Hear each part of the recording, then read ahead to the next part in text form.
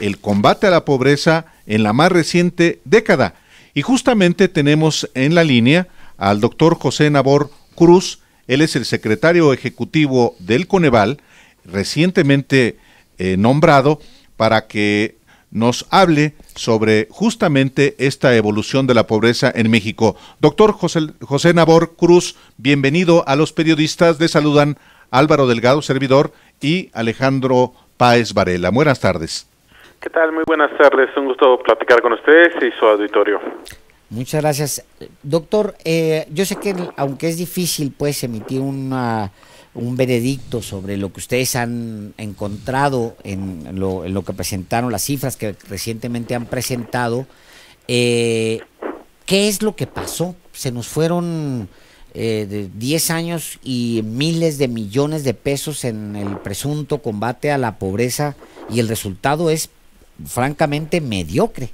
¿Qué fue lo que sucedió? Ah, lo que hemos planteado desde el lunes aquí en Conoval a partir de los resultados que exhibimos en este informe de 10 años son tres aristas. La primera de ellas es que ciertamente eh, el, indicador donde sí hubo un cierto avance fue la cantidad de mexicanos en situación de pobreza extrema. Acá sí tuvimos una reducción de 12, pasamos de 12.3 millones de mexicanos en 2008 a 9.3 millones de mexicanos en situación de pobreza extrema. Digamos que esa es la arista positiva. Pero desafortunadamente tenemos algunas otras variables que sí nos dan un foco rojo, un signo de alarma en cuanto a la evolución de la pobreza en nuestro país, ya que si bien ciertamente estos 3 millones de mexicanos dejaron la situación de pobreza, siguen en situación de pobreza moderada. Y si hacemos la sumatoria de pobreza moderada y pobreza extrema, tenemos que para 2018 hay 52.4 millones de mexicanos en situación de pobreza, lo cual evidentemente trae un incremento de 2008 a 2018 también de casi 3 millones de mexicanos. Esa es una primera lista. La segunda, de acuerdo a la metodología que desarrollamos aquí en Conoval para visualizar de manera dimensional, en seis dimensiones, las carencias sociales de los mexicanos, tenemos una que realmente sobre, sobresale de manera muy drástica en relación a las otras, y que es la carencia a la seguridad social. Tenemos que 71.7 millones de mexicanos desafortunadamente aún reportan para 2018 esta carencia de acceso a la seguridad social. Y si bien este informe es exclusivamente con datos que procesamos en términos de pobreza, evidentemente esta variable de carencia de acceso a la seguridad social tiene que ver indudablemente con la precarización del mercado laboral que ya tenemos un prácticamente 15 años en una etapa donde se ha precarizado, donde se ha ahondado las actividades del sector informal de la economía y evidentemente esta parte consideramos que ha sido uno de los obstáculos para que si bien se ha invertido mucho en términos de políticas sociales, pues este obstáculo de la informalidad ha marcado ciertamente que no haya tanta eficiencia en los programas sociales. Esa es una arista, pero también tenemos la otra arista, foco rojo o arista negativa, que es en cuanto a las remuneraciones de los hogares tenemos que prácticamente 61.1 millones de mexicanos, la mitad de la población prácticamente en 2018, tiene ingresos mensuales promedios por debajo del valor de la canasta ah, alimentaria y no alimentaria. Entonces, evidentemente esta variable también de una merma en los ingresos salariales de las percepciones de los hogares, pues ha frenado la eficiencia de los programas sociales en este periodo de 10 años. Estamos hablando con el doctor José Nabor Cruz, el secretario ejecutivo del Coneval, sobre la evolución de la pobreza. Doctor eh, eh, Nabor Cruz, ¿es eh, previsible que se modifique la metodología para medir la evolución de la pobreza? Porque estamos en el inicio de un gobierno que tiene en su agenda como prioridad efectivamente combatir la pobreza y tiene como punto de partida que hay eh, pues 52.4 millones de mexicanos eh, en situación de, pobreza. Es, es, recomendable, es conveniente que se modifique, si es que se va a modificar la metodología para medir la evolución de la pobreza? Bueno, recordemos que esta metodología finalmente que desarrolló Coneval está no solamente eh, publicada en la Ley General de Desarrollo Social, sino que también parte, forma parte del marco jurídico Coneval. Tenemos, y lo comentamos el día lunes en la conferencia de prensa aquí en Coneval, sí una actualización de algunos elementos de esta medición multidimensional, pero que inclusive se, discutieron, se discutieron desde el año pasado y están publicados en el diario oficial de la Federación en octubre del año pasado, en octubre de 2018.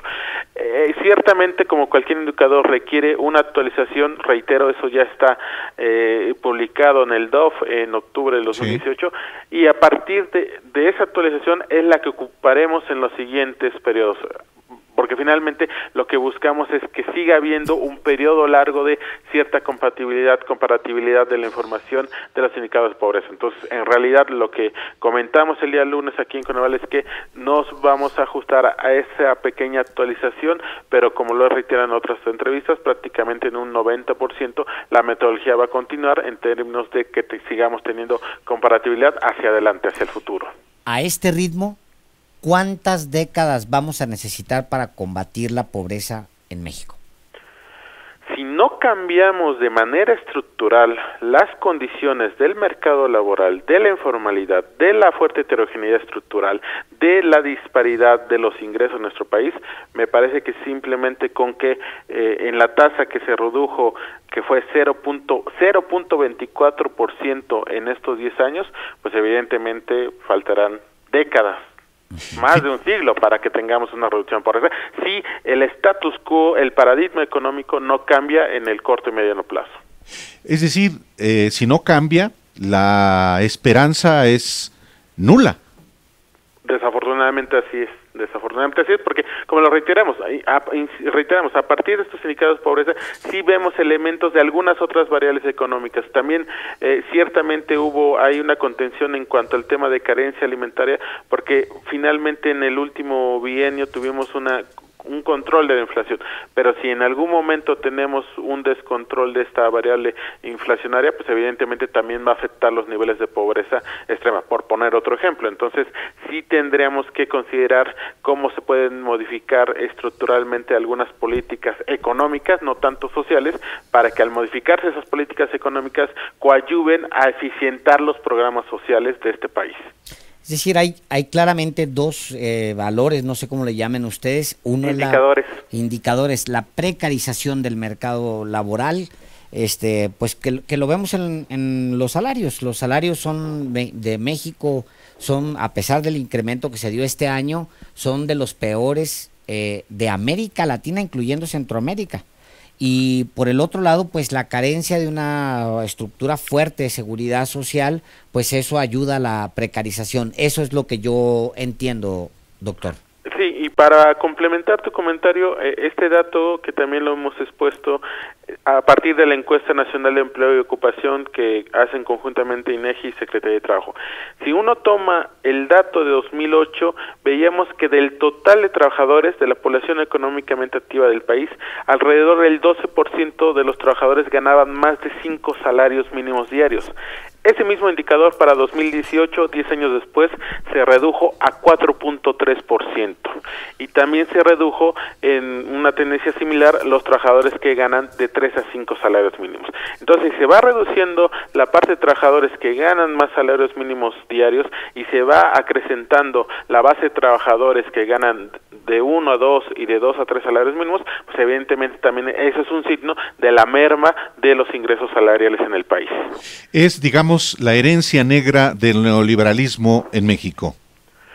Pues como lo he comentado en otras entrevistas, más allá del neoliberalismo, esta parte del, del, rezago del sur del país, de estados del sur del país que también fue eh, se ve visualmente de manera poderosa en los mapas que presentamos el lunes, me parece que viene más allá de la década de los ochentas, viene de un rezago histórico de mediados del siglo pasado. Entonces, son fallas, yo lo llamaría de esa manera, fallas estructurales del desarrollo económico del país que tenemos desafortunadamente estos enormes saldos negativos en términos de pobreza y pobreza extrema a nivel nacional, pero también desafortunadamente muy focalizado en el sur del país.